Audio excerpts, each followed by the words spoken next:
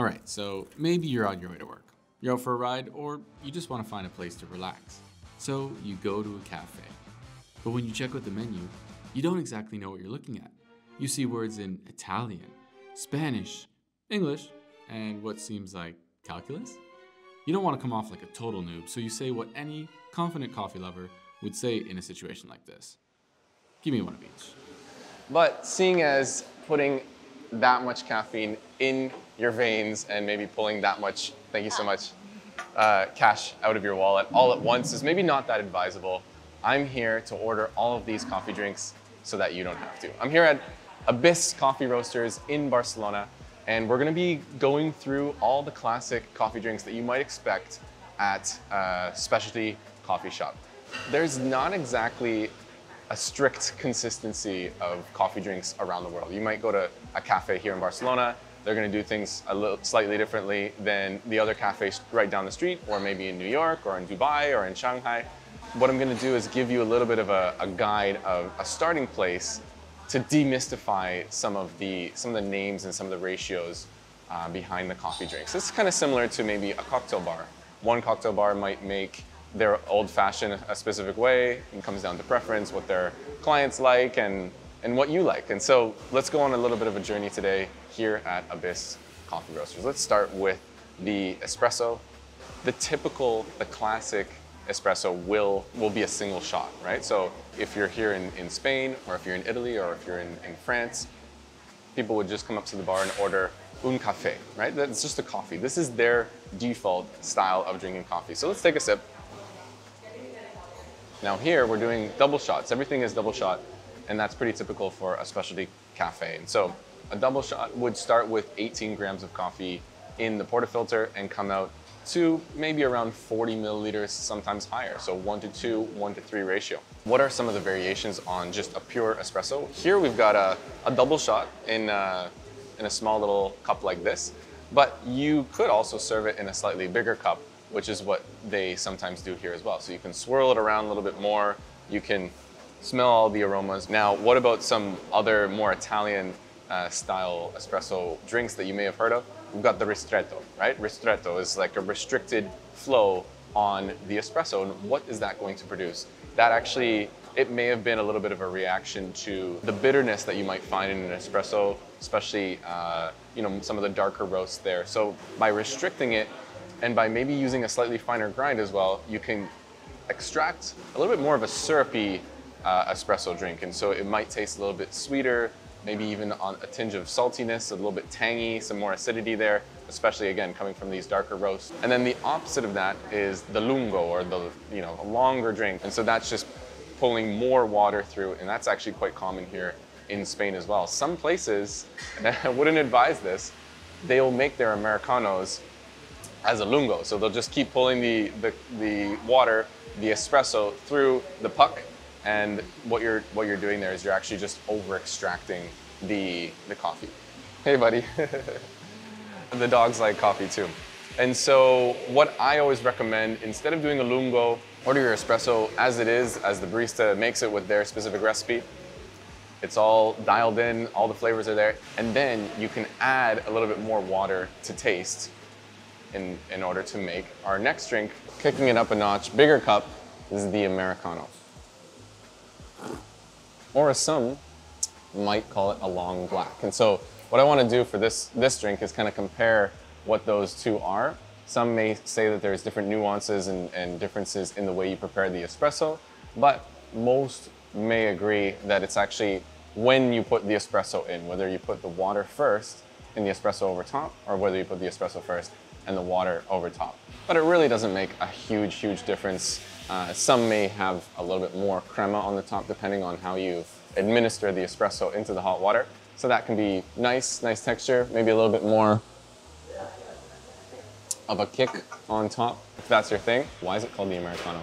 There is a little bit of this legend that it was the, uh, the American troops in Italy who wanted a sort of a classic traditional American coffee which is much bigger, you know, very, very liquidy, very watery. And of course, the Italians drinking more espresso or even maybe the, the moka pot at the time. And so they would water it down for the Americans. This is the Americano. But if you know a different version of that story, definitely leave it down in the comments. This is the long black Americano. Definitely a better option than the Lungo as we spoke about just a second ago. Let's move on to the next drink. The first milk drink, the cortado. Now this is a drink that some confounds a few maybe, and is a very, very classic drink, especially here in Spain. So I think that kind of made an influence around the world. Um, but cortado literally just means cut, right? It's, it's cut with milk or to cut, cortar. And so this has been cut with a bit of milk. It's supposed to be equal parts espresso, single espresso, to equal parts uh, steamed milk, foamed milk. And, uh, and so that's why it's in such a small little espresso cup. So this is the exact same size as this. It's just that this uh, has half milk in it. In fact, this is a double shot. Again, they're doing double shots here, but we could put we could have put a single with equal parts milk in here. So that's a cortado. But depending on where you go, you might be served a slightly bigger cup. Something like this, for example. This is uh, what they would sometimes serve cortados here in, in this cafe because people want a little bit more milk. You're edging a little bit further into flat white territory, but we'll get to that in just a second. So if you've ever ordered a cortado and you want a little bit more milk, maybe another name for it could be the Gibraltar. Now the Gibraltar was uh, invented, let's say, by the founder of Blue Bottle, or at least that's the story, because it was served in a Libbey Gibraltar glass. I don't have that glass here to, to show you, but maybe I'll, I'll throw a quick photo up right here.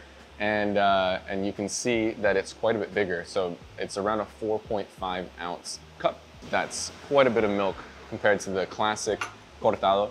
And then another variation uh, that we can talk about here, it's not exactly a cortado, but that is something you may have heard of, the macchiato. So that's not to be confused with uh, some other brands that have turned the macchiato into a whole different thing.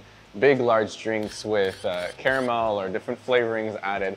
That's not the traditional macchiato. Macchiato literally means, just like in Spanish, cortado means to cut, macchiato means marked. It's a marking on the top of the, the espresso drink to tell you that they've also put a little bit of milk in there. So not nearly as much milk as the cortado here, but enough that it gives you a little bit more texture, a little bit more flavor.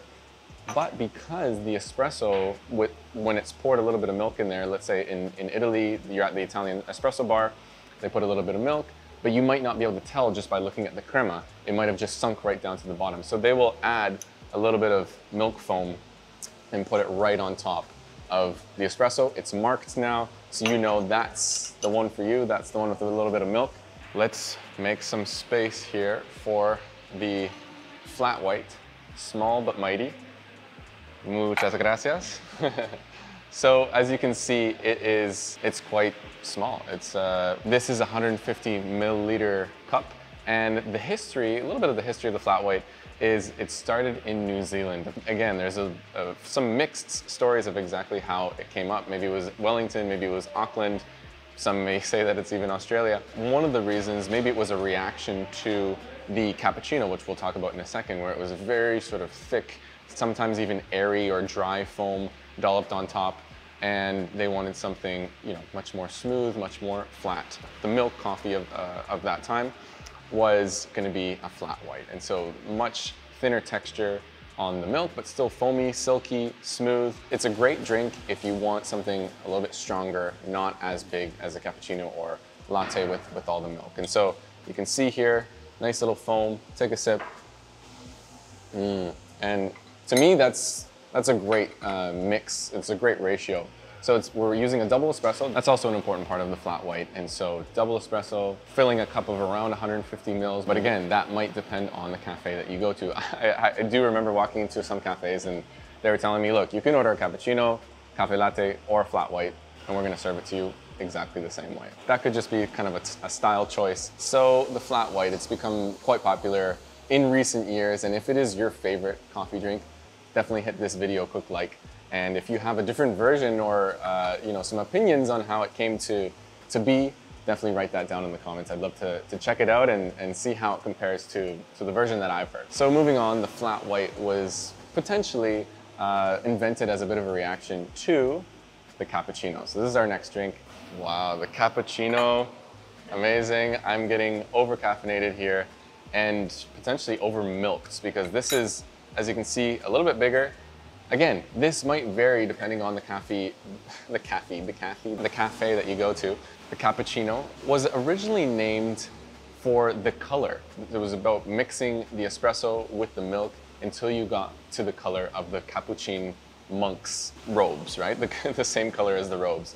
Now it's evolved over time, but we're using, uh, this is more of a specialty cafe version. It's quite a bit bigger, double shot, and the main difference here will be the thickness of the foam itself. So instead of having that very airy, uh, dry foam that we spoke about that the flat white may have been a reaction to, this is still nice and silky smooth for the cappuccino here. You can, you can still pour some nice latte art. It's not just this big bulge of, uh, of foam.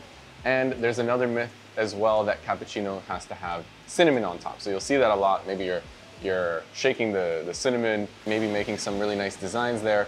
But cappuccino is just another milk drink, uh, just like any other. So if you go to Italy, it might be a little bit smaller than what we have here. This is around uh, 180 milliliters. But again, you, it might be slightly different depending on the, on the coffee uh, shop that you go to. So let's give this a try. Oh yeah, quite a bit thicker here on the foam. People also love to dip their croissants maybe in the, in the cappuccino. Or just eat it like a dessert because it is kind of a dessert here with all the milk that's going on. And I am getting quite buzzed. Next up, we're gonna go to the notorious and sometimes quite misunderstood cafe latte, or just the latte. This is, this is how we say it in English, uh, and it can be somewhat confusing, especially when going and ordering the drink in its native homeland, Italy, because latte, as I'm sure you know, just means milk, right? So you're going, you're ordering a glass of milk. You, everyone's heard the story, the typical let's say Canadian or American tourist heading into an Italian coffee bar, gonna get a latte, you get the glass of milk with no coffee in it. But of course, this probably wasn't nearly this big. we go all out with the, with the milk in this drink, but that's why I decided to switch it up, get a little bit of oat milk in here. I usually don't drink too much cow's milk. It's interesting to, to try it once in a while. Um, but here's the oat milk. Mmm. And very different flavor as well. Um, but yeah, that's a lot, lot of milk in there. The latte, it comes again in, in, a range of different sizes. If you go to Starbucks, you can order like a 20 ounce latte. Maybe they're gonna put four shots of espresso instead of just two or one. Sort of staying a little bit more local here in Spain, they might call that uh, same drink a cafe con leche, right? So it's the same thing, cafe latte, cafe con leche, and a little bit of an outlier here, the cafe au lait in, in France, but that's typically a little bit more with maybe a filter coffee like a French press um, or a strong coffee, and then not as much foaming happening with the milk. So maybe like some more warm milk. So it's a little bit more of like a, a milky coffee. This is a very milky coffee. This happens to be a 200 milliliter cup. You might go to some places and they serve it with a single shot of espresso and less milk, right? So but typically the latte or the cafe latte will have the most milk. And it can be helpful to remember by just knowing that latte means milk. Oh yeah, that is a, a lot of milk. In fact, I feel like I'm a little bit milked out, over milked, so to speak. But why don't we just switch it up and do a little bit of black coffee. So let's, let's order a nice pour over, nothing added, filter coffee, making way for my personal favorite. Thank you so much uh, the filter coffee. I just love a nice, smooth black coffee. This was made in the pour over method that I just mentioned. So this is filter coffee. You may see batch brew on the menu. You may see the specific pour over method like V60, which is what this is. And the V60 is called V60 because it's in the shape of a V at 60 degrees. And so it's really great for doing pour overs, which we just did here, and uh, you get a nice smooth filter brew. So we'll, we'll, pour the rest out here.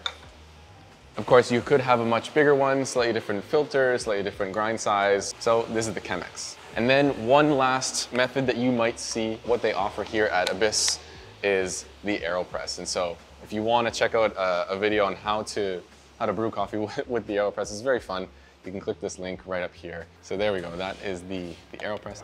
But let's, uh, let's dig into this filter coffee now. It's nice and quiet. The uh, roaster, which we had going over here, is done for the day. And we get to enjoy the, the fruits of its labor, the fruits of Pear's labor, the roaster over here. And so this is filter coffee. It's essentially 98.5% water. Uh, if we're gonna talk about different combinations, you might take your espresso and make what they call a red eye. And you might pour that right in there. You want something super strong to keep you up uh, all night for your red eye flight, or in my case, to keep me going on these two wheels here. So now that we've gotten uh, a good sense of all the different coffee drinks that you may encounter in a cafe, did I miss any?